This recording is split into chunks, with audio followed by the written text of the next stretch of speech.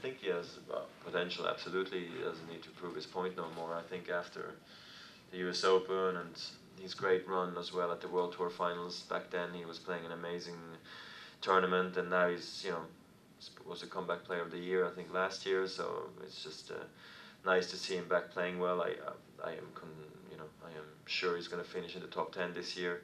Um, now top four he might be just coming from a bit too far back in the rankings, you know, to make a step in the top four because we still, you know, benefit from the top four seeds in the big tournaments and uh,